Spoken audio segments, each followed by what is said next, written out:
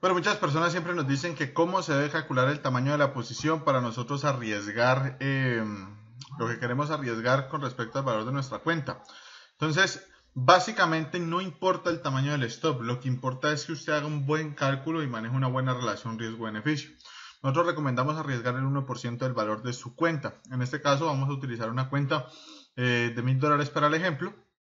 Y pues ya les voy a mostrar entonces cómo funciona. Lo primero que tienen que hacer, obviamente, es hacer un buen análisis sobre lo que van a trabajar. En este caso tenemos el euro-yen. Eh, tenemos una línea de tendencia diaria, se las voy a explicar rápidamente. Es una línea de tendencia diaria donde el mercado viene subiendo. Y bueno, trabajando los FIBOS como nosotros los empezamos a trabajar, estamos esperando que llegue al 78.6, donde aquí hay una zona de soporte resistencia bastante fuerte. Ese nivel lo puedo trazar yo aquí. ¿Sí?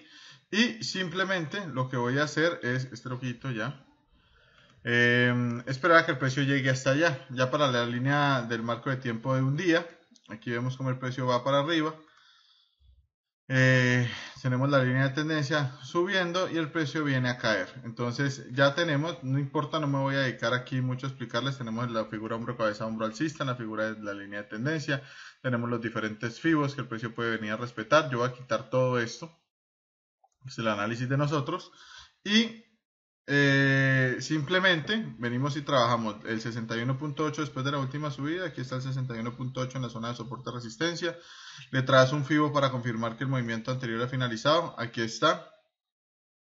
Este es el FIBO pequeño para trabajar el truquito del FIBO que nosotros hacemos. Corro acá y mire lo que tenemos. Movimiento grande en donde ¿qué hace el precio? El precio viene de este punto a este punto, luego sube al 61.878.6 y viene al menos 27.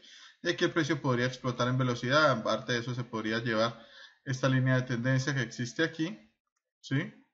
Y pues nosotros podríamos colocar una posición ahí en compra. ¿Cómo sería esa posición en compra? Básicamente nos estaríamos fijando en este valor. Yo lo que voy a hacer es copiar el valor aquí, lo copio, eh, lo pego en, la, en el nivel de riesgo-beneficio para que me quede perfecto donde yo lo quiero ingresar. El nivel de stop loss son 39 pips. Son 39 pips. Ahí está.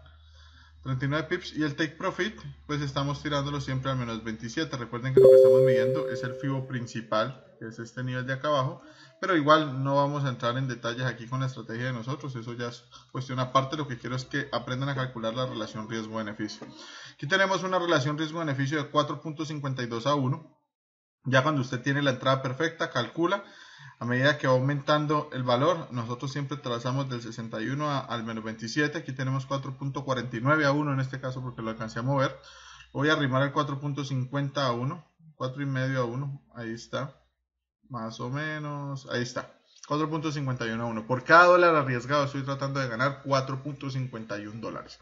Entonces, ¿cómo se hace este cálculo? Ya lo tengo aquí, ya tengo el precio de entrada, ya tengo todo me vengo a la herramienta de MyFXBook. Ustedes la pueden buscar en Google. Eh, MyFXBook calculadora, la ponen así y los va a llevar aquí calculadora del tamaño de la posición. Yo ya la tengo aquí en los favoritos, miren que es exactamente la misma página. ¿sí?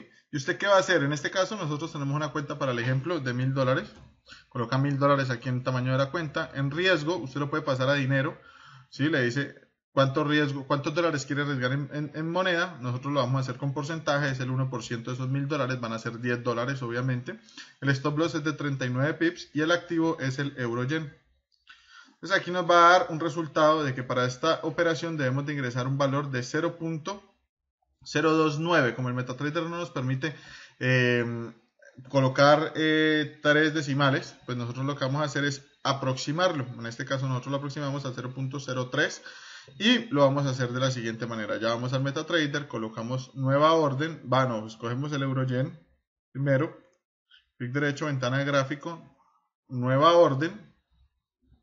0.03 es el valor que nos acaba de arrojar este, esta calculadora, 0.029 lo aproximamos a 0.03. Yo, mi recomendación es que de 0.02 7 aproximen hacia arriba, de 0.026 aproxima hacia abajo porque es mejor cuidar el capital, arriesgar un poco menos en cada una de las posiciones. Si usted es arriesgado, entonces aproxímelo cada vez al número mayor y ahí lo que va a hacer es arriesgar un poco más de capital en cada una de las operaciones. En este caso, eh, nosotros 0.03 para esta posición, orden pendiente, es un buy limit porque estamos buscando que el precio rebote y ya simplemente lo que voy a hacer es venir y copiar los valores de aquí del riesgo beneficio entonces yo vengo precio de entrada lo copio.